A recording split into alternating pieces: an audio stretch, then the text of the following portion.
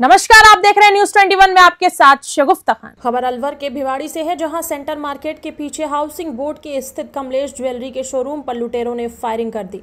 इस वारदात में दो ज्वेलर्स को गोली लगी है, वहीं तीन लोग गंभीर रूप से घायल हो गए। घायलों को सरकारी अस्पताल में भर्ती कराया गया, वहाँ से गुरुग्राम के निजी अस्पताल में रेफर किया गया।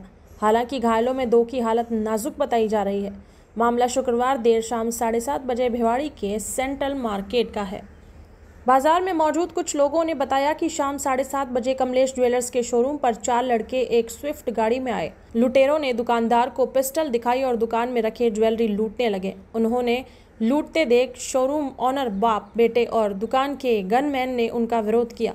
उनके बाद लुटेरों ने उन पर फायरिंग कर दी और कार में बैठकर फरार हो गए। सूचना मिलने पर भिवाड़ी पुलिस अधीक्षक ज्येष्ठा मित्रेई मय पुलिस फोर्स घटनास्थल पर पहुँची और स्थिति का जायजा लिया और लुटेरे को पकड़ने के लिए नाकाबंदी कराई गई। अलवर से प्रदीप गोयल की रिपोर्ट। करीब सवा सात, सायकालीन रात सवा सात में घटना बताई जा रही कमलेश ज्वेलर्स है। वहाँ पर करीब पाँच लोग सफ़ेद कलर की स्विफ्ट गाड़ी से आते संभवतः ये डकैती का प्रयास जिसमें कि पाँचों लोग उतरते हैं ज्वेलर्स की शॉप पर घुसते हैं मार पिटाई करते हैं फायरिंग करते हैं।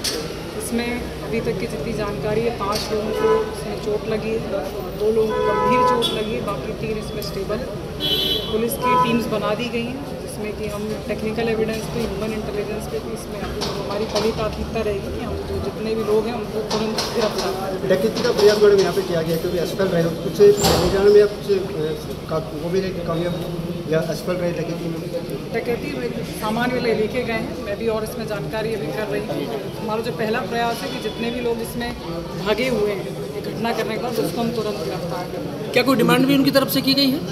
इस तरीके की अभी तक कोई बात नहीं। अभी अभी कितने लोग इंजर्ड हैं मैडम मेरी जानकारी में दो लोग हैं जो गंभीर इंजर्ड हैं तीन लोग हैं जिनको इतनी गंभीर चोटें नहीं मैम कितने राउंड फायरिंग हुई है? इस तरीके की जानकारी मेरे पास गोली से कितने लोग इंजर्ड हैं मैडम।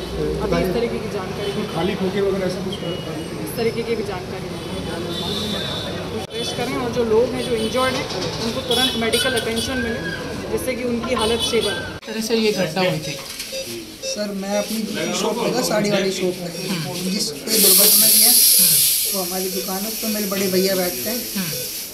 एट प्रजेंट पर हमारे गार्ड साहब बड़े भैया भतीजा और एक वर्कर काम कर रहा करता है। मुझे तो पता नहीं मैं अपनी दूसरी शॉप पे था मेरे पास एक अपना दूसरी वहाँ का सेल्समैन भगा भगाया तो भैया दूसरी शॉप पे जाओ आप। मैं इतने पहुँचा तो कम से कम आठ दस लड़के दुकान लूट रहे थे। मैंने अंदर से उन पर अंदर घुसते उन पर हावी हो गया। और बोला तोबड़ी में उन पर फायर करी मेरे सिर पे दो तीन फर्रे मारे। तेज धार से फायर किया है। उसके बाद मैं फायर फोरिंग करता हुआ भाग गया। यहाँ हमारे यहाँ गोपीनाथ हॉस्पिटल में तीन मरीज़ आए। दो की कंडीशन काफ़ी सीरियस थी। एक तो उसमें जान ही नहीं लग रही थी तो उनको फ़र्स्ट एड ट्रीटमेंट दिया गया, उनको बिजली की शॉप दे के और नली गले में नली डाल के उसके थ्रू ऑक्सीजन दी गई। तो कम से कम ऐसा लगा कि भाई अभी फ़िलहाल कुछ उनकी नाड़ी चलने लगी है थोड़ा सा बीपी ठीक हुआ। फ़र्स्ट एड ट्रीटमेंट देके दोनों को, एक का नाम जय सिंह और दूसरे उनके गार्ड ने खजान सिंह, उन दोनों को एम्स ट्रामा सेंटर नई दिल्ली रेफ़र कर दिया है। एंबुलेंस के साथ वेंटिलेटर पे। और तीसरे इनके पेशेंट हैं, उनका नाम है मधुसूदन। उनके भी हाथ में गोली लगी, लेफ़्ट साइड में, वो हाथ से लग के, और वो कोहनी तक आ गई है। अंदर ही है, डैमेजेस हैं, कुछ गुम चोटें भी हैं, सिर में चोट का असर भी है। लेकिन ऐसा लगता है कि वो शायद खतरे से बाहर हैं, फिर भी उनका इलाज जारी है। Thank you